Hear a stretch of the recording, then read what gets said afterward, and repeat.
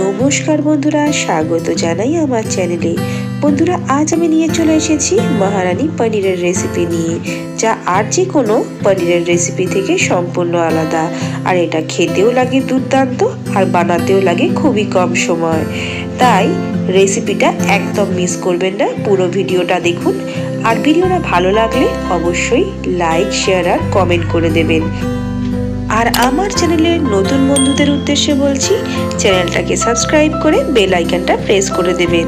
তাহলে এই রকমই রেসিপির নোটিফিকেশন সবার আগে পৌঁছে যাবে আপনার কাছে। চলুন দেখে নিই রেসিপিটা।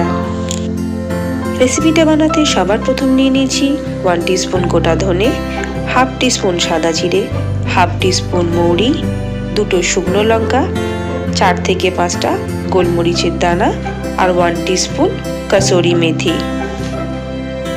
গ্যাস অন করে ওভেনে চাপিয়ে দিয়েছি আমি একটা কড়াই আর গ্যাসকে লো থেকে মিডিয়াম ফ্লেমে রেখে সবার প্রথম আমি এই মশলাগুলোকে শুকনো খোলায় ভেজে একটা গুঁড়ো মশলা বানিয়ে নেব। মশলা আমার হালকা ফাটতে শুরু করেছে আর মশলা থেকে একটা সুন্দর গন্ধ বেরোতে শুরু করেছে। আমার ভাজা এবার হয়ে গেছে, এটাকে আমি এবার নামিয়ে ফেলছি। মশলা ঠান্ডা হওয়ার পর আমি গ্রাইন্ডিং জারে একটু মোটা করে মশলাটাকে গুঁড়ো করে নিয়েছি। ঠিক এই রকম। আমি নিয়ে নিয়েছি পাঁচটা রসুনের কোয়া আর তিনটে মিডিয়াম সাইজের পেঁয়াজকে আমি এভাবে টুকরো করে কেটে নিয়েছি। এবারে ওভেনে চাপিয়ে দিয়েছি আবারও কড়াই আর আমি অ্যাড করে দিচ্ছি one tablespoon refine oil তেল গরম হয়ে যাওয়ার পর আমি পেঁয়াজের টুকরো আর রসুনগুলোকে গ্যাসকে মিডিয়াম থেকে লো ফ্লেমে রেখে শ্যালো ফ্রাই করে নিচ্ছি। আমি অ্যাড করে দিচ্ছি সামান্য নুন। এবার দু থেকে তিন মিনিটের জন্য এভাবেই গ্যাসকে মিডিয়াম ফ্লেমে রেখে সামান্য নেড়ে চেড়ে আমি গ্যাস বন্ধ করে এই রসুন আর পেঁয়াজের একটা পেস্ট বানিয়ে নেব। আমি পেঁয়াজের পেস্টটা বানিয়ে নিয়েছি। এবারে দশ গ্রাম কাজুকে আমি ছোটো ছোটো টুকরো করে কেটে নিয়েছি আর নিয়ে নিয়েছি ছটা আমন্ডের টুকরো। কাজু বাদাম আর আমন্ডকে আমি নিয়ে নিচ্ছি একটা গ্রাইন্ডিং জারে আর এতে অ্যাড করে দিচ্ছি আমি টু টেবিল স্পুন টক দই। এবারে এরও একটা পেস্ট আমি গ্রাইন্ডিং জারে বানিয়ে ফেলব। আমি নিয়ে নিয়েছি তিনশো গ্রাম ফ্রেশ পনির আর এটাকে আমি কিউব আকারে এভাবে কেটে নিয়েছি। আভেনে আবার বসিয়ে দিয়েছি আমি কড়াই, আর তাতে আমি এক এক করে অ্যাড করে দিচ্ছি one tablespoon refine oil আর ওয়ান টেবিল স্পুন ঘি।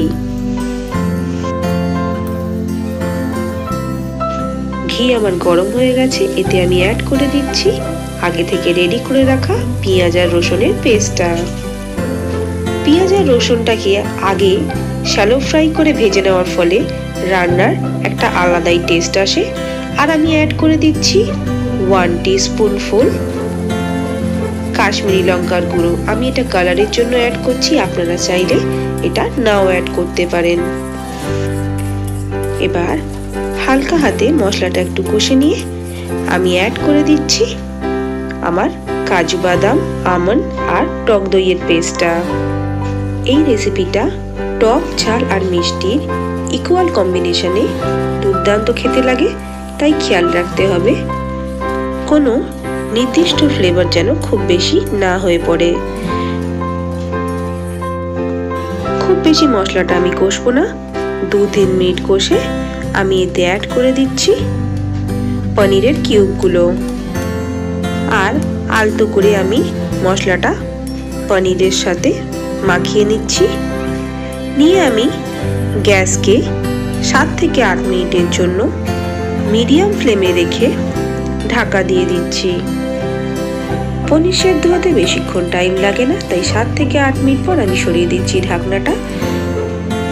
গ্রেভির পুরো ফ্লেভারটাই পনিরের মধ্যে এবার চলে এসছে। আমি এবার ওপর থেকে ছড়িয়ে দিচ্ছি স্বাদ মতো নুন।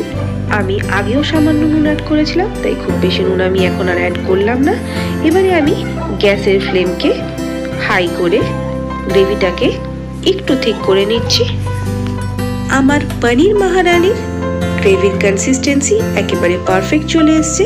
এবারে গ্যাসের ফ্লেম অফ করে আমি ওপর থেকে ছড়িয়ে দিচ্ছি ভাজা মশলাটা আর হালকা হাতে মশলাটা ভালো করে মিক্স করে এটাকে সেট হওয়ার জন্য এক থেকে দু মিনিটের জন্য আমি ঢাকা দিয়ে দিচ্ছি। তাহলে আর দেরি কেন বন্ধুরা? আপনারাও বাড়িতে বানিয়ে ফেলুন পনির মহারানির এই দুর্দান্ত রেসিপিটা আর রেসিপিটা ভালো লাগলে লাইক শেয়ার আর কমেন্ট করতে ভুলবেন না। আবার হাজির হব নতুন কোনো রেসিপির সঙ্গে। ভিডিওটা দেখার জন্য